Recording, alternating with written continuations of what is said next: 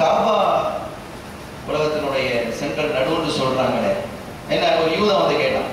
ஆமா எப்படி? அளந்து பாரு. லேச சொல்லிட்டாங்க.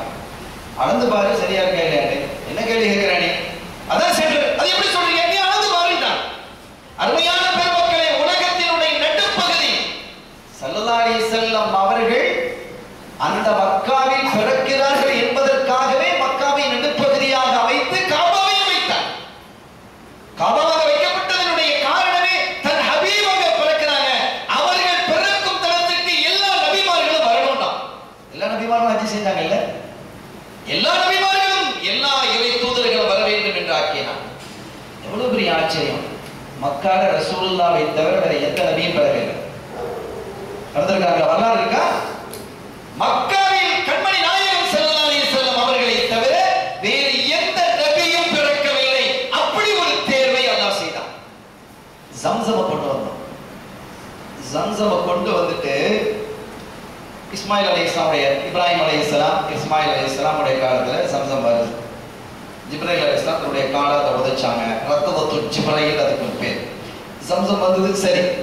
ஆனால் பிந்தைய காலத்தில் கொஞ்ச காலத்துல அந்த சம் பிரச்சனை ஏற்பட்டு ஜுல்ஹும் கிளையினர் வந்தாங்க சில கூட்டத்தார்கள் வந்தாங்க அவங்களுக்குள்ள பிரச்சனை வந்து அவங்க என்ன செஞ்சாங்கன்னா சம்சம் கிடந்து மூடி போயிட்டாங்க.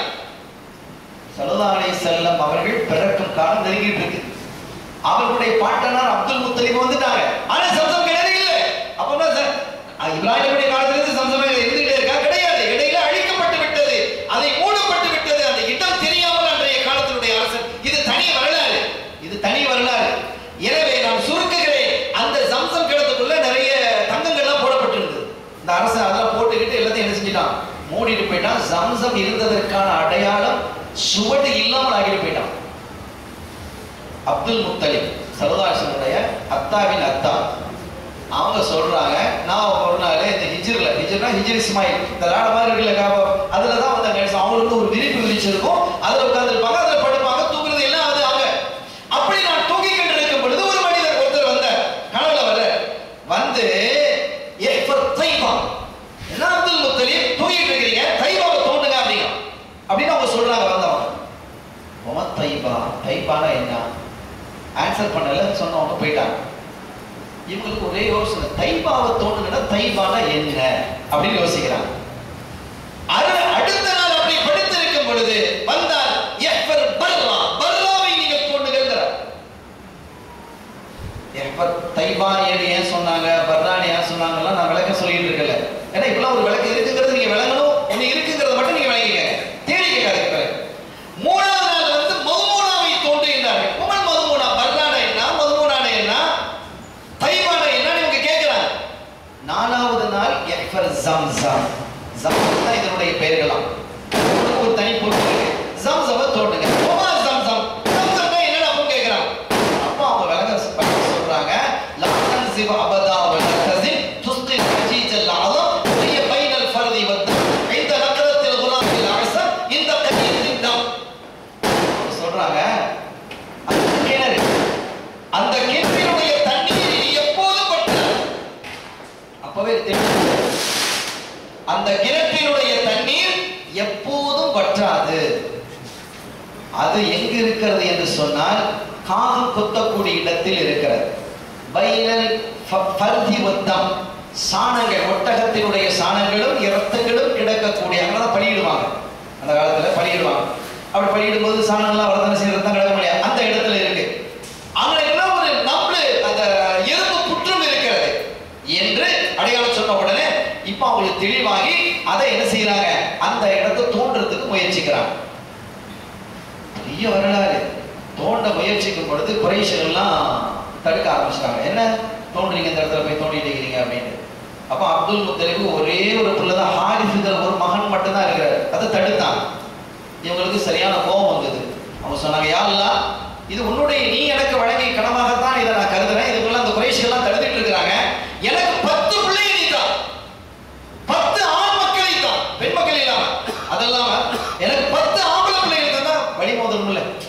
பத்து பிள்ளைகள் ஆம்பளை பிள்ளைகள் வச்சா தனி ஒரு தைரியம் வருமா இல்லையா?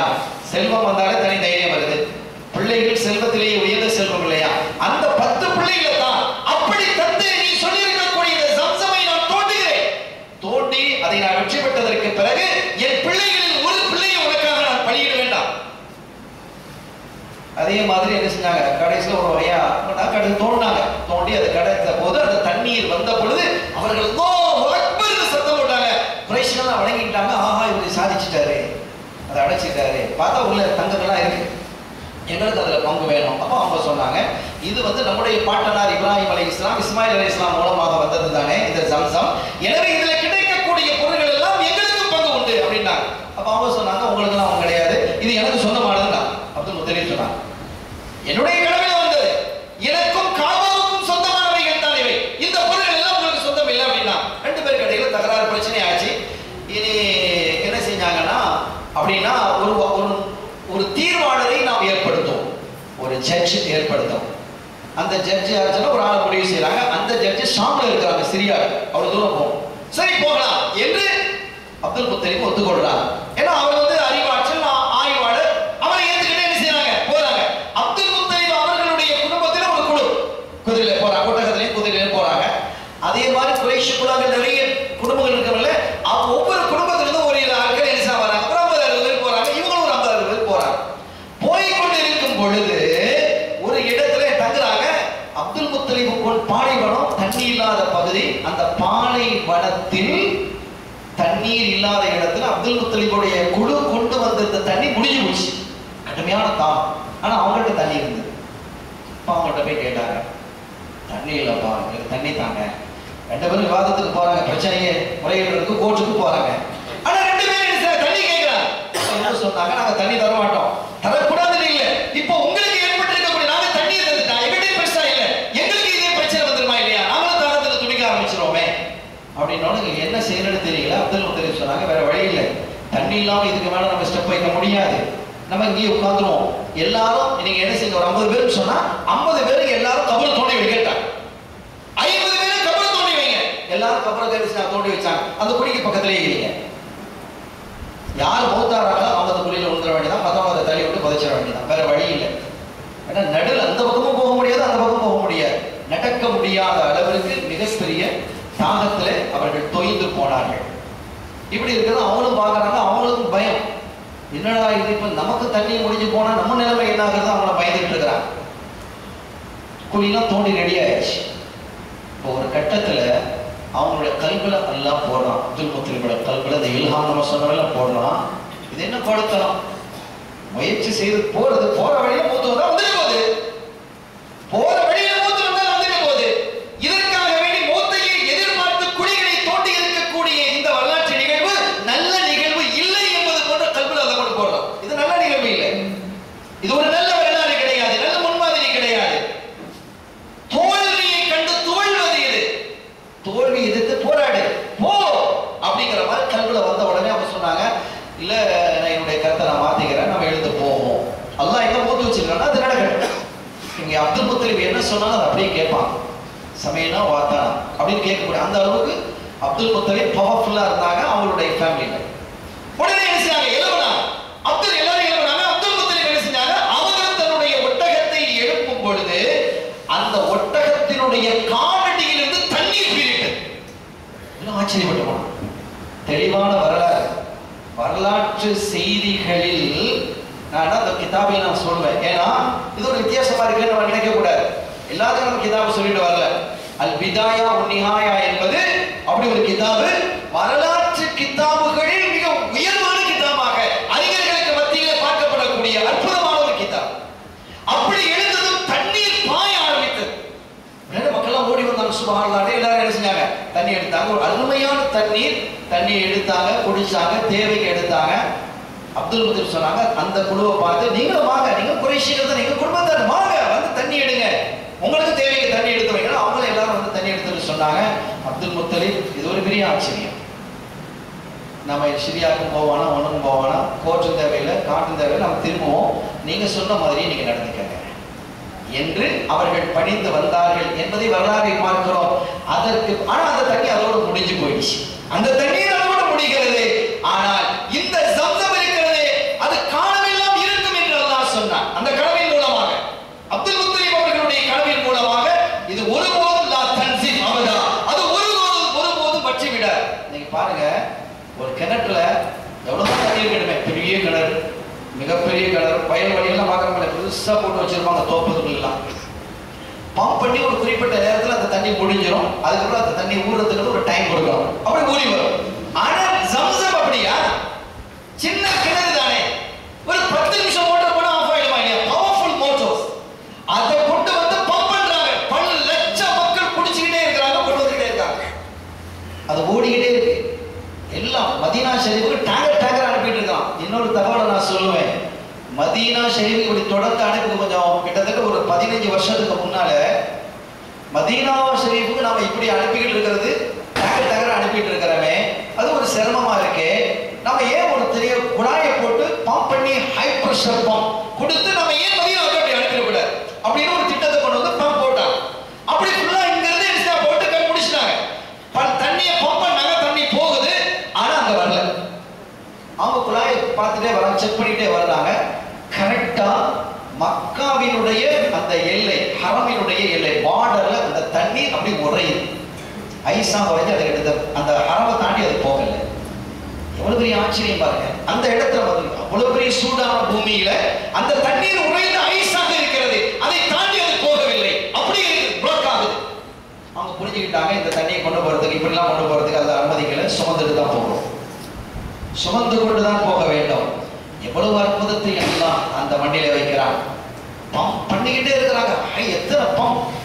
எவ்வளவு வாட்ஸ் உள்ளது? அத்தனைக்கும் அது ஈடு கொடுக்கிறது. தண்ணீர் கொட்டி கொண்டிருக்கிறது. தன் ஹபீப் முகமது ரசூலுல்லாஹி ஸல்லல்லாஹு அலைஹி வஸல்லம் அவர்கள் பிறக்கும் அந்த தலத்தை அல்லாஹ் தஆலா அப்படி தயார்படுத்துகிறான். வரக்கூடிய ஹாஜிமார்கள் யாரும் தாகத்தில் தோன்றிவிடக்கூடாது யாராவது தண்ணி இல்லாம இருக்காங்களா? எந்த பைப்பு இருந்தாலும் தண்ணி வந்துட்டு டேங்க் டேங்க் டேங்காக வச்சிருக்கிறான். அந்த மக்களவை தா தண்ணி தான் இல்லாம தாகத்தில் கிடந்து யாராவது சொல்ல முடியுமா என்ன அது ஒரு பாலைவனம் சுற்றி கடல் கடல்களோ ஆறுகளோ இல்லாத ஒரு பகுதி. இவ்வளவு தண்ணீர் எப்படி வருகிறது கடல் இருந்தாலாவது சரி சொல்லலாம். அந்த கடலினுடைய நீரோட்டத்தினுடைய பகுதியில் தண்ணீர் வர்றதுக்கு வாய்ப்பு இருக்கு. எதுவும் இல்லை. அப்படிப்பட்ட ஒரு அற்புதம். சங்கையான பெருமக்களே அந்த இடத்தை அல்லாஹ் அவர்களுக்காக தயார்படுத்தினான் உலகத்துல நம்ம வீட்டில் தொழுகிறோம் சிறந்தது. பள்ளியில் தொழுகிறது அதை விட சிறந்தது. ஹரமில் தொழுகிறது மக்கால தொழு காபால போய் காபாக்காரர்களை போய் தொழுகிறது அதை விட சிறந்தது. அதில் என்ன சந்தேகம் கிடையாது. அதுலயும் மகாமி இப்ராஹிமுக்கு பக்கத்துல தொழுகிறது. உத்தஹிது மின் மக்காம் இப்ராஹிம முசல்லா. நீங்கள் தொழும் தளமாக மக்காம் இப்ராஹிமை தேர்வு செய்யுங்கள். அப்படின்னு அதான் சொல்றோம் புராணம் அப்போ உலகத்திலேயே தொழுவதற்கு மிக உன்னத சிறப்பான அற்புதமான இடம் மகாம் இப்ராஹிம் தான் காபா ஹரம் ஒரு லட்சம் நம்ம ஏற்கனவே கடந்த வார வருஷத்துல நம்ம சொன்னோம். ஆனா இது வேறு ஒரு செய்தி. எப்படி தயார்படுத்துகிறான் என்பது. அதை எப்படி சொன்னோம் என்றால் ஞாபகப்படுத்துகிறேன். அதாவது காபால எங்கன ஒரு லட்சம் நாங்க காபா சுத்தி. மக்காம் இப்ராஹிம் பக்கத்தில் சொன்னா ரெண்டு லட்சமா? அப்படி கிடையாது. அது ஒரு லட்சம் தான் ஆனா ஒரு சற்று டிஃபரன்ஸ் இருக்கு. எப்படின்னு வைங்களேன் இப்போ உதாரணமாக இந்திய காசு ஒரு லட்ச ரூபா. மலேசியா கிட்ட ஒரு லட்ச ரூபா. ரெண்டு கடையில் வித்தியாசம் இருக்கா இல்லையா? இந்த வித்தியாசம் அங்கே உண்டுங்கிறான் இந்த வித்தியாசம் அங்கே உண்டு. ஒரு லட்சம் டாலர் ஒரு லட்சம் தீனார் குவைத்து தினம் இருக்கிறது குவைத்து தீனார் இருக்கிறது. இன்னைக்கு ஏறக்குறைய இந்தியா காசுக்கு 270 எழுபது ரூபாய். ஒரு ரூபாய்க்கு அங்க 270 எழுபது ரூபாய். அங்க உள்ள ஒரு ரூபாய் இந்தியாவில் 270 எழுபது ரூபாய். அப்ப 270 எழுபது மடங்கு அதிகம்? அங்க இருக்கக்கூடிய ஒரு லட்சம் என்று எடுத்துக்கொண்டால் எப்படி இருக்கும்? அருமையான திருமக்களே ஆக மக்காமி இப்ராஹிமை விட உயர்ந்த தரம் தொடுவதற்கு உலகத்தில் எதுவும் இல்லை. பூமியிலும் இல்லை வானத்திலையும் இல்லை. ஏன்னா காபாக்கள் சொன்ன பதினஞ்சு காபாக்கள் இருக்கு. அந்த பதினைந்து காபாக்கள் வாய்ப்பு கிடைத்தால் அதை பற்றி இன்ஷா நம்ம பேசுவோம். அந்த பதினைந்து காபாக்களில் மிக உன்னதமானது மக்காவினுடைய காபா. கருத்து வேறுபாடு இல்லாமல் அந்த காபாவை சுற்றி இருக்கக்கூடிய எல்லா தலமும் புனித தலம் அதுவும் மக்காம் இப்ராஹிம் இருக்கிறதே அது அற்புதம். இந்த மக்காம் இப்ராஹிம்ல என்ன இருக்கு? இப்ராஹிம் அலி இஸ்லாமுடைய காலம் பதிஞ்சிருக்கு எப்போ பதிஞ்சதுங்கிறத சூஃபியல் சொல்றாங்க. ஞானிகள் குறிப்பிடுறாங்க. காபாவை கட்டி முடிச்சிட்டாங்க. காபாவை கட்டி முடிச்சுட்டு அல்லாஹ் நிறைய துவாக்கள் கேட்டாங்க. காபாவை கட்டி முடிச்சதுக்கு பிறகு அல்லாஹ் கேட்கறான் உங்களுக்கு என்ன வேணும்? இந்த காபாவை கட்டிட்டீங்க. இப்ப தனி ஒரு கூலி உங்களுக்கு நான் தரணும் நான் விரும்புறேன் என்ன வேணும்? நீங்க கேளுங்க ஸ்பெஷலாக கேட்க சொல்கிறாங்க அந்த கல்லின் மீது தான் அந்த கல்லின் மீது நின்று கொண்டு கேட்க சொல்றாங்க கேளுங்க அப்ப ரப்பனா உபஅத ஃபீஹிம் ரசூலா இறைவா என்னுடைய சந்ததியில் ஒரு இறுதி நபி வருவா என்று சொல்லிட்டு இருக்கிறீ அந்த நபியை என்னுடைய சந்ததியில கொண்டு வா என் பிள்ளையில வரணும். அந்த இறுதி நபி எவ்வளவு அற்புதமான விஷயம். இறுதியான ஒரு நபி வர்றாங்க. அவங்களுடைய அந்தஸ்து அவங்களுடைய சிறப்பு அவங்களுடைய உயர்வு இதெல்லாம் நிறைய நீ சொல்லி இருக்கிறாய் உன்னுடைய ஹபீப் என்று குறிப்பிட்டிருக்கிறாய். ஹலீல் ரசூலுல்லா ஹபீபுல்லா இப்ராஹிம் அலி இஸ்லாம் ஹலீலுல்லா. ஹபீபுல்லானா நண்பன் தான். ஹபீபுல்லானா நண்பன் தான். நமக்கு நாலு நண்பன் இருக்கான்னு வைங்க. நாலு ஒரே கேட்டகரியில் வச்சுருப்போமா எப்படி? இல்லை இல்லை. ரொம்ப டியரஸ்ட். அவர் நண்பர் தான். அவரை விட இவர் இப்போ பழக்கம் போட இருக்குல்ல அப்ப ரெண்டு கேட்டகரி வித்தியாசம் இருக்கிறது ஆனால் அரபில வார்த்தைகளையே வித்தியாசம் தெரியும் ஹலீலுக்கும் ஹபீபுக்கும் இடையில வித்தியாசம் என்ன தெரியுமா ஹலீலுல்லா என்றால் யாருக்கு பெயர் இருக்குது இப்ராஹிம் அலி இஸ்லாம் இப்ராஹிம் அலி இஸ்லாம் அவங்களுடைய விருப்பம் என்னன்னா அல்லாஹ் எத்தனை பேரை நேசிப்பான்? அவருடைய நேசர்கள் எத்தனை பேர் இருப்பாங்க? அவர்களிலெல்லாம் முதன்மையானவனாக நான் இருக்கணும் அப்படின்னு நினைக்கிறவங்களுக்கு பேர் ஹலீலுல்லா. அப்படி நினைக்கிறவங்களுக்கு பேர் ஹலீலுல்லா. ஹபீபுல்லா என்ன தெரியுமா? தன்னுடைய படைப்புகளில் என்னை அதிகமாக யார் நேசிக்க வேண்டும் என்று அல்லாஹ் விரும்புகிறானோ அவங்களுக்கு பேர் ஹபீபுல்லா.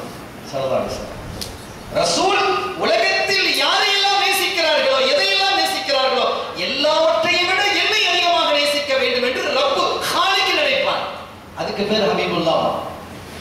இது ஆன்மீக செய்திகள். அருமையான பெருமக்களே அப்படிப்பட்ட ஒரு ஹபீபை அல்லாஹ் விரும்பக்கூடிய ஹபீபை அவர்கள் விரும்பியவர். ஹசான் இப்படி தாபீது படிக்கிறாங்க. ரசூல் ஸல்லல்லாஹு முன்னிலையில நாயகமே நீங்கள் எப்படி இருக்க வேண்டும் என்று விரும்பினீர்களோ அப்படி அல்லாஹ் உங்களை வடிவமைத்திருக்கிறான். இது சாத்தியமா? நான் எப்படி இருக்கணும்னு நினைச்சா நான் அப்படி இருக்க முடியுமா? இன்னும் கொஞ்சம் கலராக இருந்தா நல்லா இருக்குமே. இன்னும் கொஞ்சம் ஒரு அஞ்சு இன்ச்சு கொஞ்சம் உயரமா இருந்தா நல்லா இருக்காமே. அது மாதிரி. நல்ல உயரமா இருந்தா நல்லா இருக்கும். நினைக்க முடிஞ்சா நடக்குமா அது? சாத்தியம் இல்லை. அது சாத்தியமே இல்லை. இன்னும் கொஞ்சம் பாடியா இருக்கலாம் அப்படி இருக்கலாம் கலராக இருக்கலாம் அப்படி இருந்தா அவங்க என்ன அழகா இருக்காங்க இவங்க என்ன அழகா இருக்காங்க இதை போல இருக்கலாம் தேர்வு செய்ய முடியுமா என்னுடைய நிறத்தை நான் தேர்வு செய்ய முடியாது உயரத்தை அகலத்தை ஆற்றலை நான் தேர்வு செய்ய முடியாது இது சாத்தியமே இல்லை இது எல்லாரும் அங்கீகரித்த ஒண்ணு ஆனா ஹஸ்ஸான் இப்னு சாபித் ரலியல்லாஹு படிக்கிறாங்க நாயகமே நீங்கள் விரும்பிய கமா தஷா நீங்கள் விரும்பியது போன்று அல்லாஹ் உங்களை படைத்திருக்கிறான் இது எப்படி சாத்தியம்? நம்ம மூளைக்கு எல்லாம் பொருந்தணும்னு நினைக்க கூடாது இது தவறு என்று இருக்குமே ரசூல் முதல்ல தட்டியிருப்பாங்க. ஹஸ்ஸான் இப்படி படிக்காது என் விருப்பம்லாம் இதுல எதுவும் கிடையாது. அல்லாஹ் நாளைய வர என்ன பிரச்சனை சொல்லணுமா இல்லையா? சொல் சொல்லலை. அப்போ அது அங்கீகாரம் கபூர் இது பெரிய ஆச்சரியம் இல்லை என்ன தேர்வு. எவ்வளவு அற்புதமான தேர்வு. அருமையான பெருமக்களே அப்படிப்பட்ட ஒரு ஹபீப் முகமது ரசூலுல்லாஹி ஸல்லல்லாஹு அலைஹி வஸல்லம் அவர்களை அல்லாஹ் என்ன செய்யறான் தேர்வு செய்யறான் அந்த நபியை என்னுடைய வம்சத்துல வரணுங்கிறாங்க இப்ராஹிம் இஸ்லாம் ரப்பனா வபஅத் ஃபீஹிம் ரசூலா என்னுடைய அந்த ரசூலை கொண்டு வா ரஹ்மானே என் பிள்ளையில அது இருக்கணும் அப்படின்னு கேட்கும் பொழுது அந்த கால் அடி பதித்தது மக்காம் இப்ராஹிம் சும்மா இல்லை. மகாம் இப்ராஹிம் எப்படிப்பட்ட துவா கேட்கும் போது அந்த கால் பதித்தது இவனை கால் பாதச்சூடு இருக்குல்ல அந்த அடையாளம் இருக்குல்ல அது எப்போது பதித்தது என்கிறார்கள் ஆன்மீகவாதிகள் இப்படி ஒரு ரசூலை தான் என்னுடைய வம்சத்தில் என்னுடைய குலத்தில் கொட்டி வழிகள் கொண்டு வா ரஹ்மானே என்று கேட்ட பொழுதுதான் அந்த கால் பதித்தது என் ஹபீபை கேட்ட இடம் அது அங்க போய் தொழுகிறதா சிறந்ததுனால தான் என்ன தேர்வு அது எப்படிப்பட்ட தேர்வு இப்ப இதை நம்ம உணர்ந்து பார்க்கணும் நம்ம சிந்தனைலாம் சும்மா வெஸ்டர்ன் சிந்தனையா இருக்கக்கூடாது. நிறைய படி வெஸ்டர்ன் சிந்தனையா மாற்றப்பட்டு விட்டது. அருமையானவர்களே அது தப்பான ஒரு விஷயம். நேரத்தினுடைய பாதி செய்தி கூட வரல. பாதி கண்டம் தானா இருக்கிறேன். அருமையானவர்களே இன்னொரு செய்தி தகவலோடு நான் அதை நிறைவுபடுத்துவேன். இந்த விஷயத்தை தொடரும். உதாரணமா இந்த ரூஹ் இருக்குல்ல நம்முடைய ரூஹ்.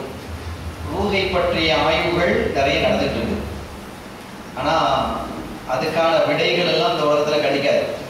கிடைக்கவே செய்யாது. அது அல்லா குரான சொல்லிட்டான் எஸ் அலோன் ரோ அப்படின்னு உங்களை பத்தி ரூஹை பத்தி கேட்கறாங்க அதை பத்தி ஒரு கொஞ்சோண்டு அறிவு தான் உங்களுக்கு கொடுக்கப்படும். நல்லா சொல்லிட்டான் ரூஹை பற்றி இந்த உயிர் எப்படி இருக்கு எங்கிருந்து வருது எங்க போகுது எப்படி போகுது அது எப்படி இயங்குகிறது அது என்ன என்ன கனவையும் பற்றி அவன் பெருசா கண்டுபிடிக்கல படி ஆனா படிச்சிருக்கான் ஆனா அந்த ரூஹை பற்றி ரொம்ப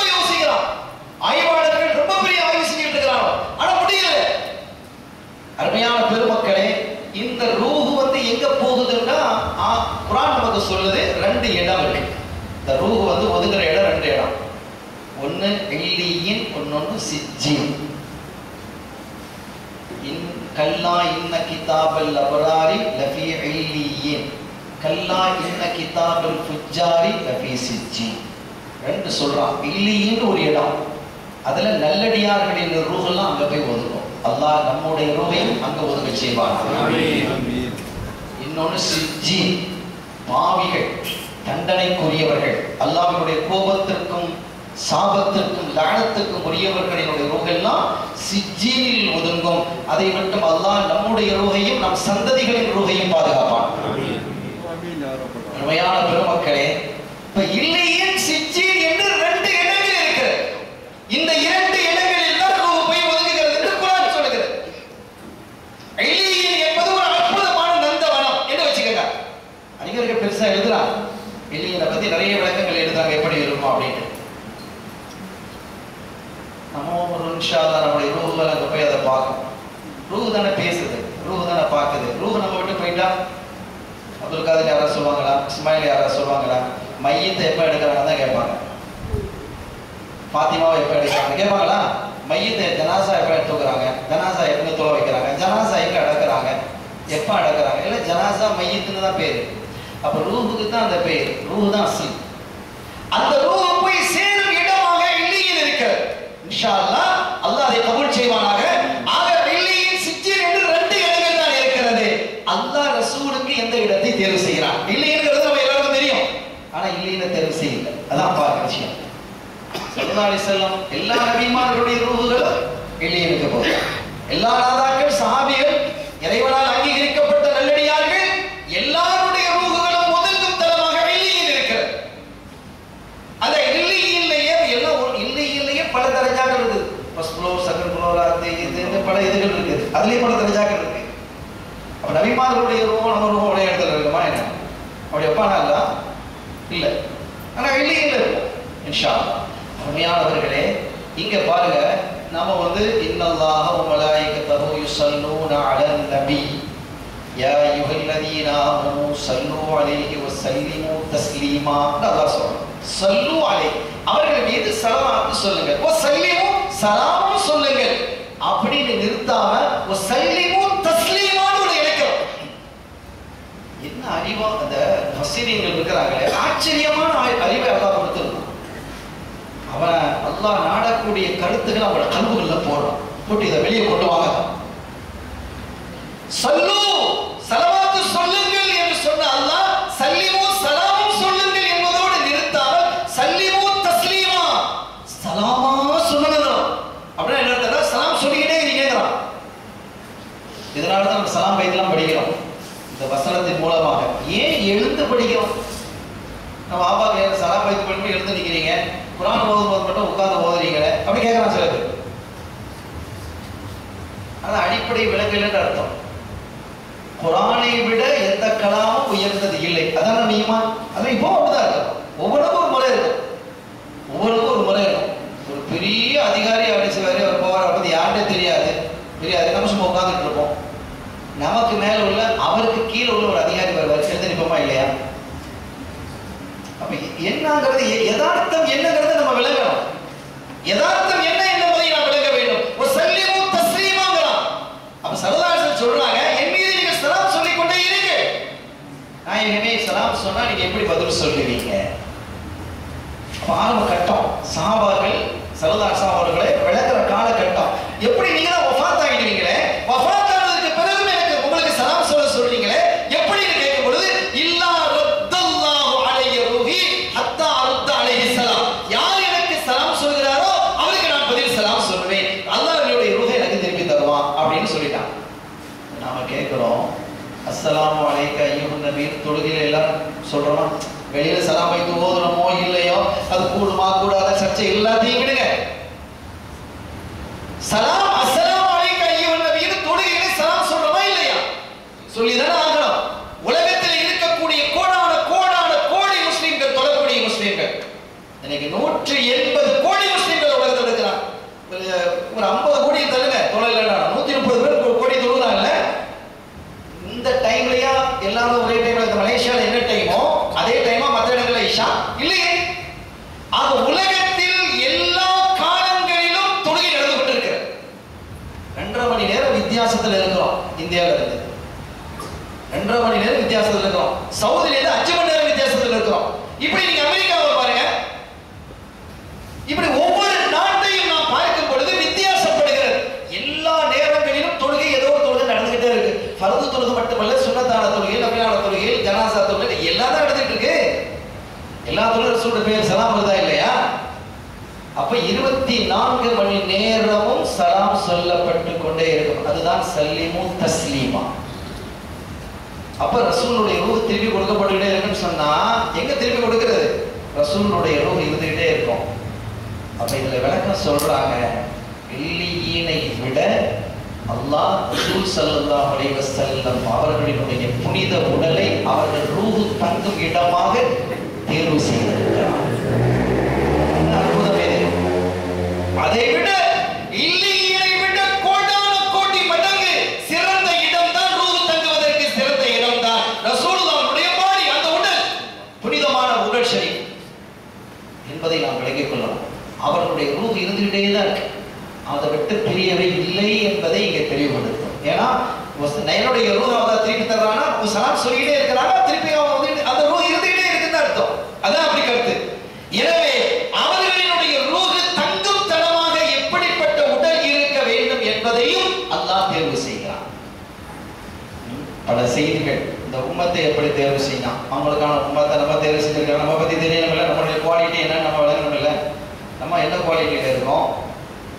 அப்படிங்கிற நம்ம தெரியணும் அல்லாஹ் நம்ம தேர்வு செஞ்சிருக்கானே அவங்களுடைய உம்மத்தாக அவங்களுடைய சஹாபிகள் தேர்வு செஞ்சிருக்கிறான் தாய் தந்தையர்களை தேர்வு செய்திருக்கிறான் அவர்கள் அடங்கும் தளமாக மதீனாவை தேர்வு செய்திருக்கிறான் எவ்வளவு விஷயங்கள் இருக்கு? சஹாபிகளை தேர்வு செஞ்சிருக்கிறான் அற்புதமான தகவல்கள். எனவே இவைகளை எல்லாம் நாம் தொடர்ந்து பார்க்க வேண்டும். முடிந்தால் நாளையும் இந்த தலைப்பில் நாம் பேசுவதற்கு முயற்சிப்போம். அருமையான பெருமக்களே மொத்தத்தில் சல்லாஹ் அலைஹி அவர்களே அல்லாஹினுடைய செலெக்ஷன் அவங்க வந்து அல்லாவுடைய செலெக்ஷன் இது யார் செலக்ட் பண்ணா? இந்த ட்ரெஸ்ஸு இது நல்லா இல்லை அது நல்லா இல்லை அது நல்லா இல்லை இவங்களுக்கு யார் ரொம்ப மொழிப்போ அவங்களோட குப்பையை தேர்வு செஞ்சுட்டு வந்தாலும் ரொம்ப ஃப்ரெண்டு ரொம்ப பாசமா இருக்கிறாரு. உன் தோழி இதை தேர்வு செஞ்சு அப்படியா? இது நல்லா இருக்கே அப்படின்றோம் ஏன்னா அது அவளை பொறுத்து அந்த மகப்பத்தை பொறுத்து வருவாள் இந்த மாதிரி தேர்வு அல்ல இது. அல்லாஹ் ஒவ்வொன்றையும் மிகவும் தெளிவாக தேர்ந்தெடுத்திருக்கிறான். ஸல்லல்லாஹு அலைஹி செல்லம் அவர்களுக்கான சுற்றுச்சூழல் எப்படி இருக்க வேண்டும்? அவர்கள் பால் கொடுத்தாங்களே இந்த தாய் எப்படி தேர்ந்தெடுத்தான்? கனிமா நாயை பால் கொடுத்தாங்க இல்லையா? தாய் எப்படி தேர்ந்தெடுக்கலாம் வந்து பார்க்குறாங்க எல்லா இவங்களுடைய அனிமா நாயினுடைய ஒட்டகம் இருக்கு அது வந்து கிழட்டு ஒட்டகம் பாட்டாத ஒட்டகம் ஆடி ஆடி வந்தது. அவங்களோட வந்தவங்க எல்லாம் மக்கள் இருக்கக்கூடிய ஆடுபொரு பிள்ளைகளை தேர்ந்தெடுத்துட்டாங்க. தேர்ந்தெடுத்து போயிட்டாங்க. இவங்களுக்கு பிள்ளை கிடைக்கவே இல்லை. இவங்க வந்து பார்க்குறாங்க பாப்பா இல்லை அத்தா இல்லைன்னா அந்த பிள்ளையை தேர்வு செய்ய மாட்டாங்க. சொல்ல சொல்ல பாப்பா இல்லை பிறக்கும் போது அத்தா இல்லை அதனால அந்த பிள்ளையை வேணான்ட்டு போனான். வரலாறு தெளிவா இருக்கு. வேணான்னு போனாங்க. அல்லாஹ் என்ன செய்யலாம்? தேர்வு செய்யலாம். நீ வேணாமா என்றாலும் அந்த பிள்ளை உன்னிடத்தில் தான் வளர வேண்டும். என் பிள்ளைக்கு பால் குடிக்கக்கூடிய தாயா கொடுக்கக்கூடிய தாயாக நீதான் இருக்க வேண்டும். அல்லாஹ் திருப்பி அனுப்புனான் அந்த நிகழ்வு. எல்லாம் அல்லாஹ் தேர்வு செய்யலாம் இதை பெருமக்கள் சொல்வார்கள் தனக்கு யார் பால் தர வேண்டும் என்பதை ரசூல் தேர்வு செய்தார்கள். என்று அற்புதமா சொல்லுவாங்க. அவங்க வேணான்னு போயிட்டாங்க ரசூல் திருப்பி இழுத்தான். வா. என்று அவங்க தேர்வு செஞ்சாங்க மற்றவங்களை எல்லாம் மற்ற பிள்ளைகளை எல்லாம் பால்குடி தாய்மார்கள் தேர்வு செய்தார்கள். பால்குடி தாயை ரசூலும் அல்லாவும் தேர்வு செய்கிறார்.